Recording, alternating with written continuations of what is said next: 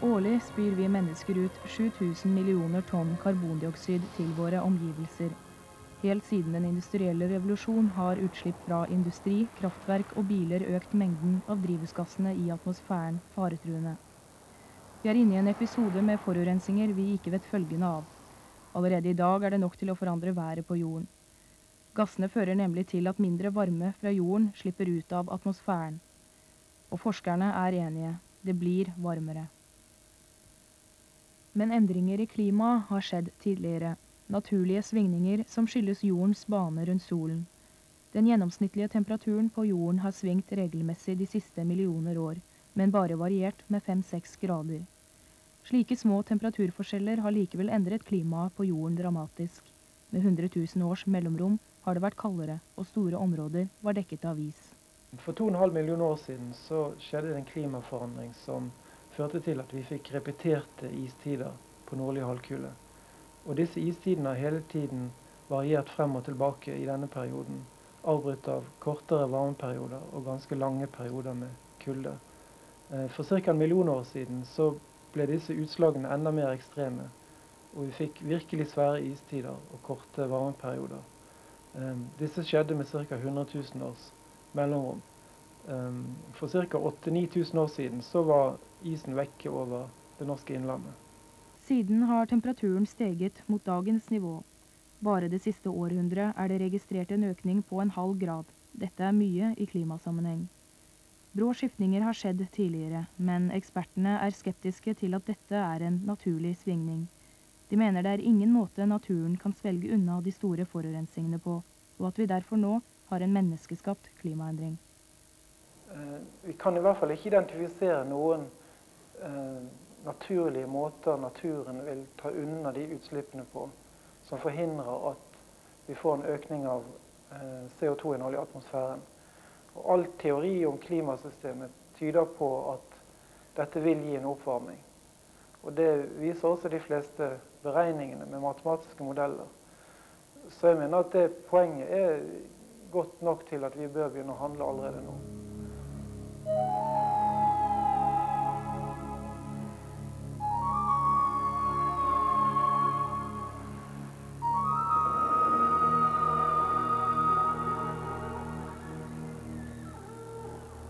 Historien forteller oss at vi nå skulle vært på vei mot litt kaldere tider.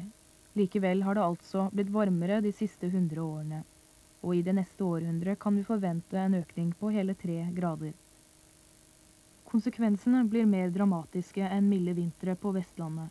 Allerede ute i det neste århundret kan fastlandsisen på Grønland og Sydpolen smelte, og havet vil stige. Store landområder kommer til å bli utslettet. Nedbørsfordelingen på jorden vil endre seg. Enkelte plasser vil oppleve mer tørke enn i dag. Grunnlaget for jordbruk og annen menneskelig aktivitet blir endret, og store folkemasser må flytte på seg for å overleve.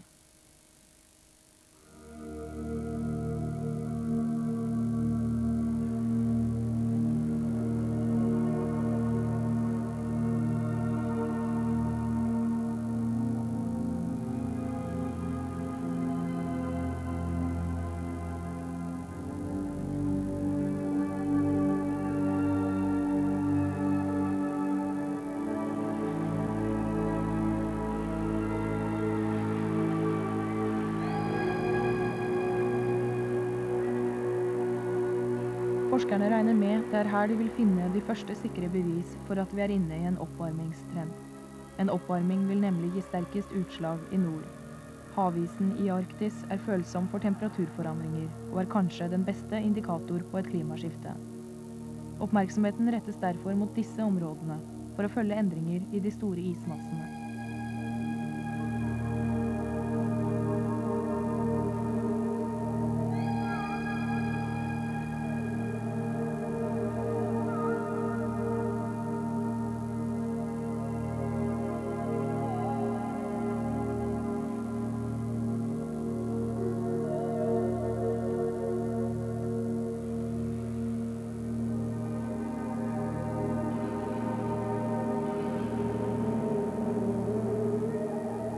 Hvordan kan så ekspertene slå fast at det vil bli varmere? Simuleringene av været på jorden om 50 eller 100 år kjøres på store regnemaskiner og bygger på teorier om de fysiske og kjemiske prosessene i naturen.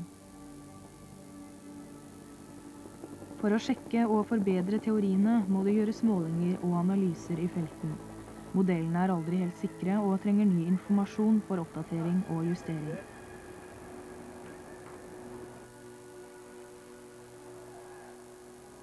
Fra rommet dekker satellittene store områder på kort tid, og gir klimaekspertene mye informasjon om naturfenomener på kloden. Forskerne er begeistret for de siste årenes nye verktøy.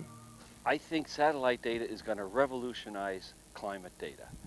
Uh, it's not only the ice now, sea ice, that we can measure from space. Now, with the new satellite carrying radar altimeters, for the first time, we're going to be able to say, is Greenland and Antarctica growing or shrinking? Those two together contain 90% of all the fresh water on spaceship Earth, and we don't even understand whether they're growing or shrinking. For example, you could say this, this is a good, good point. Uh, we've been doing the microwave satellites now for 12 years. We have learned more about the large-scale behavior of sea ice on spaceship Earth in 12 years than we did through all of recorded history. Satellittene dekker store områder og gir informasjon om isens bevegelse og utbredelse både i sør og nord. Med målinger fra den amerikanske Nimbus 7-satellitten fant iseksperter ut at isen på Sydpolkontinentet ikke endret seg fra 1978 til 87. Men isen i nord trakk seg tilbake med 2 i denne niårsperioden. 2% in nine years may not sound like very much, but it is actually a very important uh, number, that, that, that it could change that much in just nine years. Uh, that's faster than anybody had realized it might change.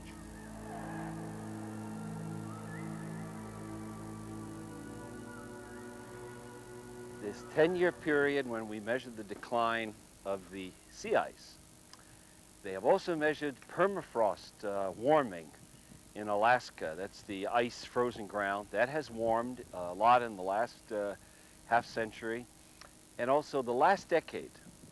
Uh, of all the uh, years they have been collecting good temperature data globally, that's about 130 years, on ships and, and on land. In that 130 years, the last decade is the warmest decade ever recorded.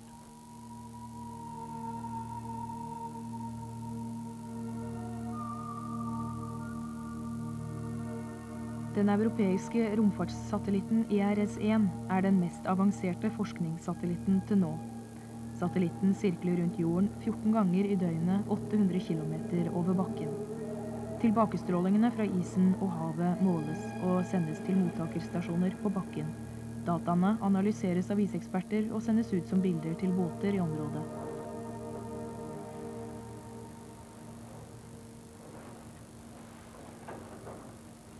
Grensen mellom is og hav, råker i isen og istyper kan sees på disse bildene. Målingene fra satellitten kan mottas på fartøyene kort tid etter at satellitten har passert. Slik får forskerne informasjon om den isen de omgir seg med, og kan bedre legge opp strategi for ekspedisjonene.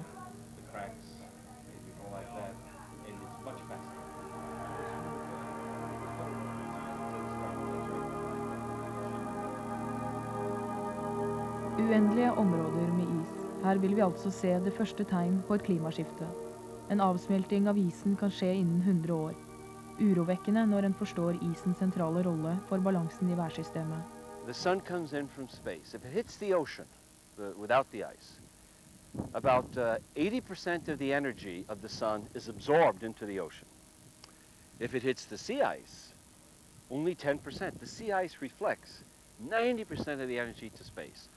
So that's a big change. We call that the albedo change. So it's like a valve, a mirror. Either the oceans absorb almost all the solar energy and, and the sea ice reflects 90% back. En oppvarming vil føre til at isen i Arktis smelter. Havet vil da ta opp mer varme fra solen og gi en enda større varmeøkning. Mer is smelter. Det er flere enn isbjørnen som kommer til å merke dette. The other very important thing is the sea ice is like a valve on the ocean. Look, look where we are here. The mean ocean temperature here is about minus 1.7 degrees C. And the temperature here in the wintertime averages like minus 33 degrees C. So it's a huge temperature gradient. That is the biggest temperature gradient on spaceship Earth.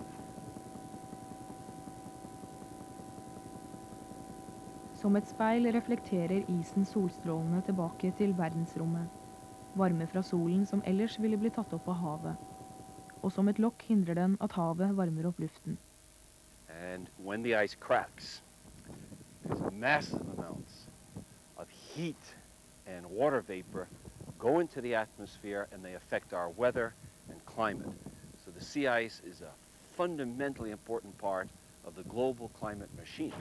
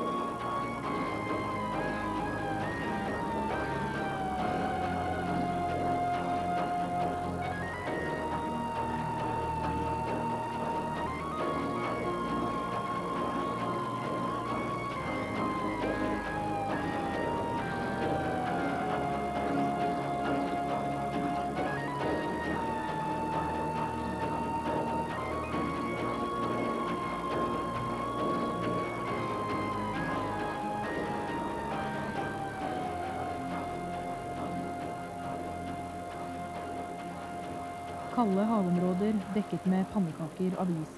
Grensen mellom hav og is kan flytte seg flere kilometer fra dag til dag. Alt avhengig av vind og temperatur. Havet her i nord har stor betydning for været på jorden. Inntil Nansens vågale ekspedisjon med Fram for 100 år siden, trodde man at det arktiske havet var grunt, og at det kanskje var land under isen nær Nordpolen. Nansen oppdaget store dyp og fikk ideen til noe som forskere i dag bruker i sine analyser av klimasystemet, nemlig kaldt saltvann som synker til store dyp, en av motorene til de globale havstrømmene. Nansen eh, hadde en eh, enkel eh, idé om det for da helt tilbake til århundreskiftet. Og det er rett og slett at du har kraftig kjøling om vinteren og kraftig vind. da blir vannet kaldere.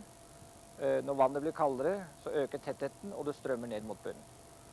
Videre, i global sammenheng, så det vannet da, som strømmer ned i Grønlandshavet, det strømmer over terskelen mellom Island og Grønland, altså i Danmarkstredet, og så litt gjennom Færøy-Shetlandskanalen og ned i verdenshavene. Og det vannet som dannes i Grønlandshavet, det kommer faktisk da eh, helt inn i Stillehavet og, og, disse områdene, men det tar da størrelsesorden 1000 år. Havstrømmene frakter kaldt vann vekk fra polområdene og bringer tilbake varme. Kalde vannmasser synker ned og forlater Grønlandshavet. Tilbake får vi den varme Golfstrømmen som sørger for et levelig klima for bosetting i Norge. En oppvarming på den nordlige halvkule kan endre strømmen av varmt vann hit, og derfor få uante konsekvenser for oss nordboere.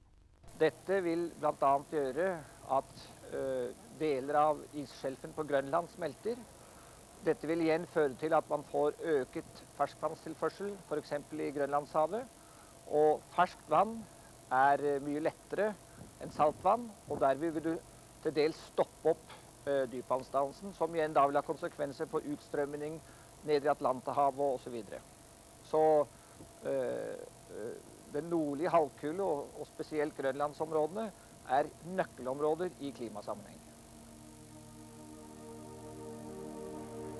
Hvis det ikke renner kaldt vann vekk fra våre områder, stenger vi for at Golfstrømmen kan føre varmt vann tilbake. I verste fall kan den stoppe. Da kan vi oppleve at en varmere jord vil føre til at vi får det mye kaldere i våre områder.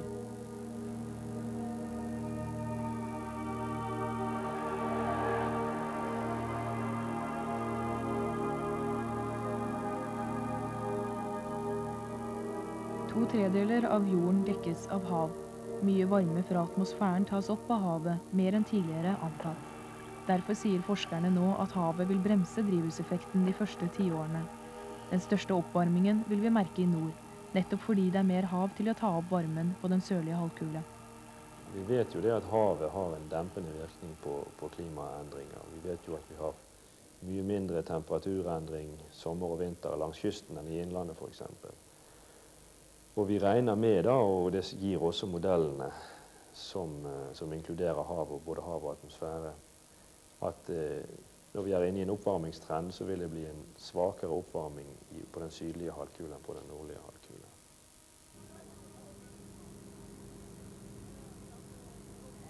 Forskning de siste årene har gjort det klart at havet kanskje er den viktigste faktor i klimasystemet. Men prosessene i havet er fremdeles ikke godt nok kjent til at vi kan være sikre på morgendagens klima. Opp til nå er det meteorologene som har drevet mest forskning. Nå er det på tide oseanografene eller havforskerne eh, kommer veldig sterkt inn i bildet. Og eh, det som mangler eh, primært, er en bedre forståelse av havets evne til å ta opp CO2 og sirkulasjonssystemene i havet. Disse havområdene tar opp enorme mengder karbondioksid fra atmosfæren. Mer enn halvparten av det vi slipper ut i luften, blir sugd ned i havet. Noe av gassene forsvinner ut igjen rundt ekvator, men mesteparten forblir i havdypene. Uten havets opptak ville drivhuseffekten blitt større og kommet raskere.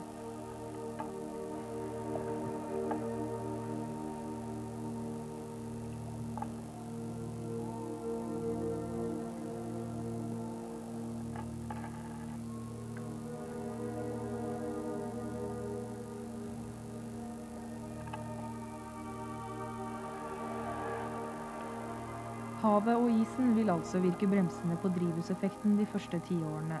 Men om 50 år kan naturens evne til å motstå forandring være sprengt.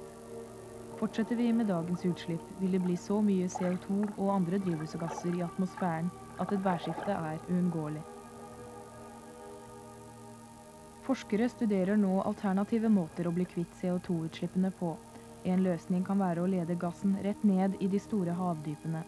I og med at havet har så stor kapasitet til å ta opp CO2, så vil jo mye av en veldig stor del av den CO2-en vi i dag slipper ut i atmosfæren, den vil etter lang tid, etter mange hundre år og på tusen år eller mer, naturlig kan vi si, ta opp en veldig stor andel av den CO2-en vi slipper ut i atmosfæren.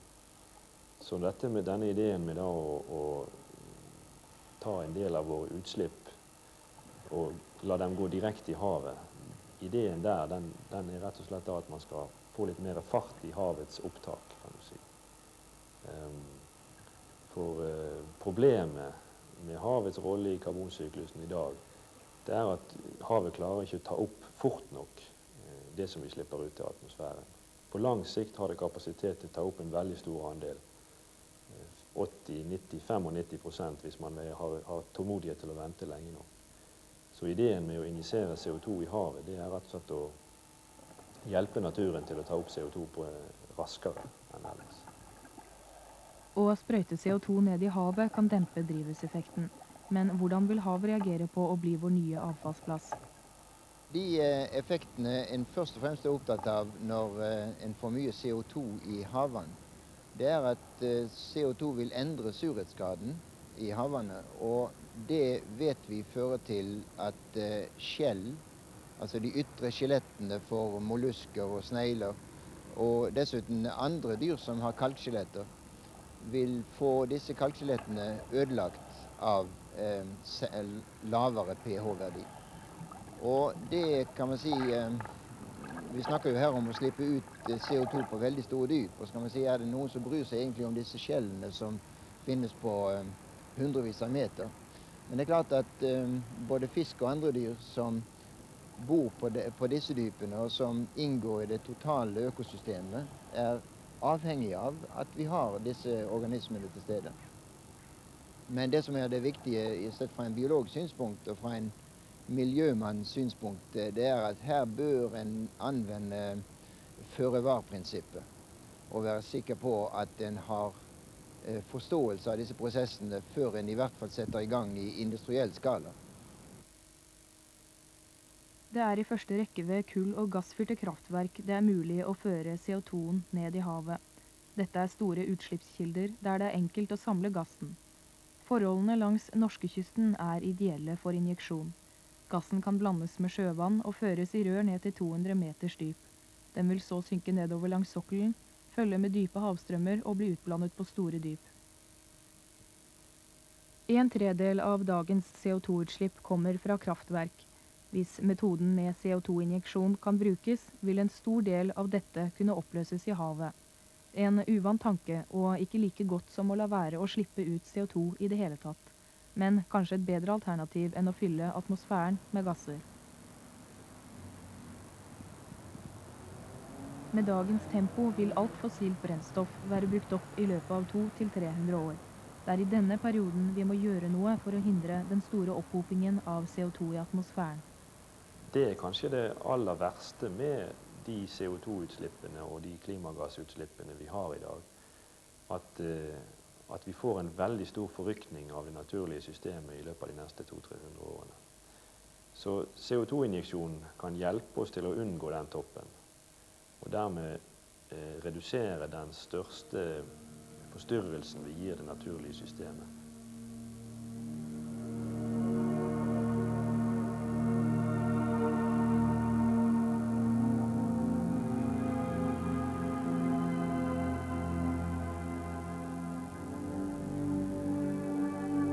Det er lite samsvar mellom forskerens konklusjoner og politikerens handlinger, og derfor lite realistisk at utslippene vil reduseres med det første.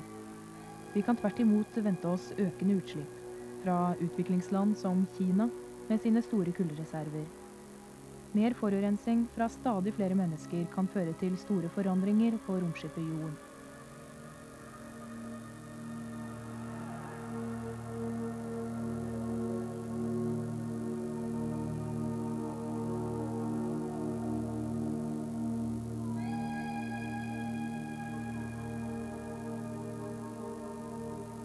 Problem facing mankind, the key problem facing mankind.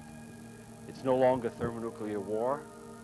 Uh, the key problem is we live on a spaceship, we double the size of the crew every 39 years, and we don't understand how the spaceship works. We don't understand mostly how the sea ice works, the ice sheets. We don't even really understand the ocean-atmosphere interaction. But we are doing changes to the spaceship from too many people. And the real problem we face in the future, and I tell my students this everywhere, is the real problem is population. It's population, pollution, population. And that's not a scientific problem, that is purely an ethical problem.